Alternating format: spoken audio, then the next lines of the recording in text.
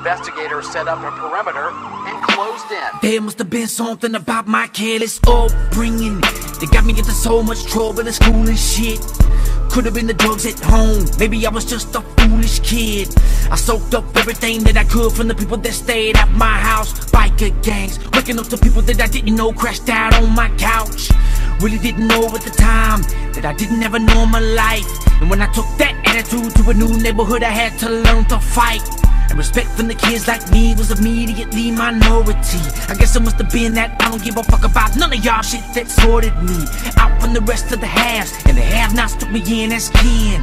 Outcast, poor white trash, and that's where I learned to make my friends. But I've always been a weirdo to my homie, cause I wanted to go be an entertainer. He was selling rock out his window, I was the rapper, and my best friend was a gangster.